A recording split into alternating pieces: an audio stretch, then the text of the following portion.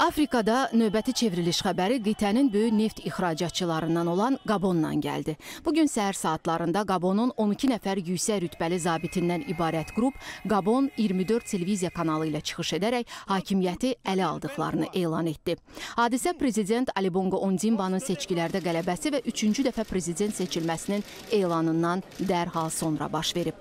Hərbçilər seçkilərin nəticəsinin ləğv olunduğunu, sərhədlərin bağlandığını və bütün dövlət institutlarının məhbuslarının buraxıldığını bəyan ediblər. Daha sonra prezident Ali Bongo Ondimbanın ev dustaqlığında olduğunu və onun fəaliyyəti ilə bağlı araşdırmalar aparılacağı bildirilib.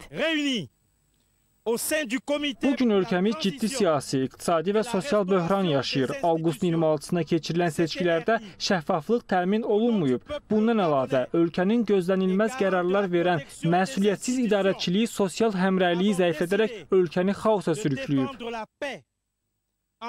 Avropa İttifaqının xarici işlər və təhlükəsizlik siyasəti üzrə ali nümayəndəsi Josep Borrell Afrika ölkələrindəki çevrilişlərin regionda qeyri-stabilliyi gücləndirdiyini bildirib. Məsələ bugün İspaniyanın Toledo şəhərində Avropa İttifaqı ölkələrinin müdafiə nazirlərinin görüşündə diqqət mərkəzində olub. Borrellin dediyinə görə, sabah xarici işlər nazirlərinin toplantısında Avropanın sözü gedən ölkələrlə bağlı siyasəti bir daha nəzərdən keçiriləcək.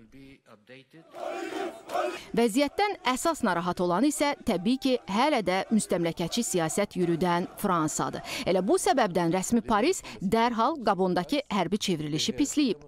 Fransa hökumətinin nümayəndəsi Olivier Veran bildirib ki, onlar hadisələri diqqətlə izləyir, seçkilərin nəticəsinə hörmətlə yanaşılmasını arzuluyurlar.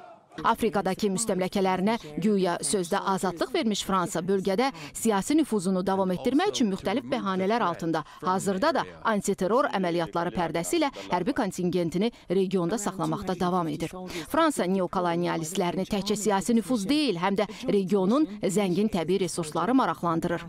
Məlum olduğu kimi, son 3 ildə çevrilişlərə məruz qalmış ölkələr, o cümlədən Mali, Burkina Faso, Niger qiymətli metal ehtiyatları ilə məşhurdular. Uran hasil hasilatına görə dünyada 7-ci yeri tutan Niger, Birləşmiş Ştatlardan sonra ikinci ən böyük uran istehlakçısı olan Fransanın bu resursa olan tələbatının 35-40 faizini ödəyir. Nigerdə son zamanlar güclənən anti-Fransa əhval-ruhiyyəsi Parisin bu ölkədəki strateji maraqlarına ciddi zərbə vurur.